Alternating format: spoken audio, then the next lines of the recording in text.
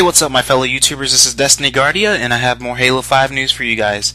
Okay, so it was recently released by Astro Headsets that they have recently teamed up with 343 Industries. So what I'm, you know, supposedly expecting is that we're gonna get possibly a Halo 5 headset, Astro headset is what I mean, and it it's it seems pretty off, but it seems like it, it that's really the only reason I could see them teaming up is that they could be coming out with the Halo 5 headset, which is pretty much, you know, I, I, think it's pretty obvious at this point, so I think that's really awesome. But tell me what you guys think. Comment below for anybody that watches this video.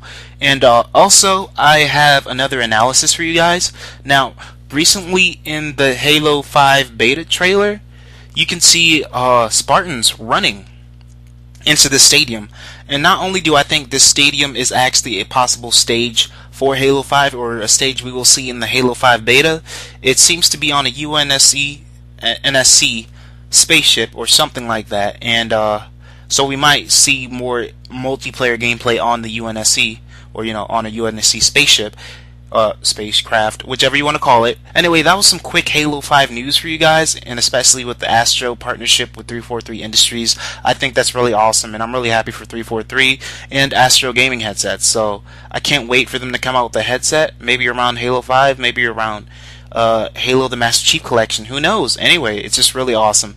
Anyway, this is Destiny Guardia. Uh, comment, like, subscribe if you enjoyed the video. It really, oh, you know, it always helps. I always try to post the best comp, you know, content. And uh, you guys have a great day. Take it easy.